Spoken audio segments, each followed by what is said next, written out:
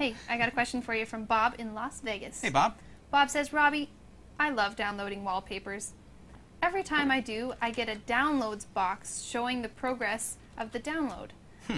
Then I have to manually close the box. Can I get can I get rid of it or make it close automatically? I love the way you read that. Do you? It was so. I love downloading wallpapers. it was like you'd picture the guy sitting with his laptop on a beach. Um, so, so I'm.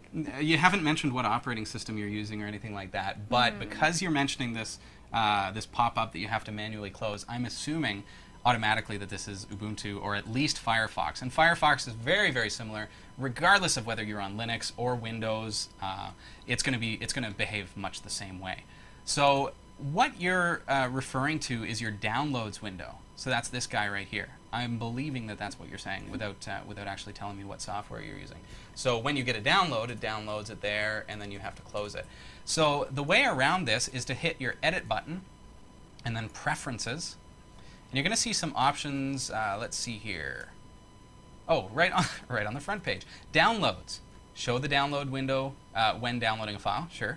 Automatically close it when all downloads are finished check that off. The second thing that you might want to do, uh, whether you be on Linux or Windows, this is the same. Save files to desktop is the default, so you know that anytime you download it, automatically downloads uh, to your desktop. That can be annoying if you download a lot. You've probably, if you watch, if you watch Backstage Pass, you've seen my desktop over here, and you know that it gets a lot cluttered after a few downloads have happened. So you can actually select Always Ask Me Where to Save These Files. So then, anytime you download from now on, it's going to actually prompt you where do you want to save it kind of more, you know, the traditional way of downloading a file.